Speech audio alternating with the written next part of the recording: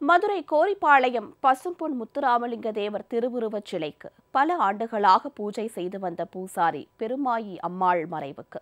அஇஅதிமுக பொதுச் செயலாளர் புரட்சித்தாய் சின்னம்மா ஆழ்ந்த இரங்கல் தெரிவித்துள்ளார்.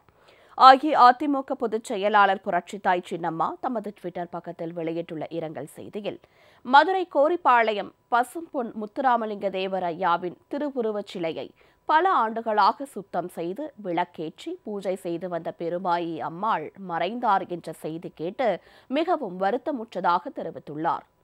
ஒவ்வொரு தேவர் ஜெயந்தியின் போதும் கோரிப்பாளையம் வைகை வடகரையில் நெற்றி நிறைய திருநீரோடு நின்று கொண்டு தேவர் திருமகனாரை தரிசிக்க வருகிற அனைவருக்கும் திலகமிடும் பெருமாயி அம்மாளை இழந்து வாடும் அவருடைய குடும்பத்தினருக்கும் உறவினர்களுக்கும் தமது ஆழ்ந்த இரங்கலை சின்னம்மா தெரிவித்துக் கொண்டுள்ளார்.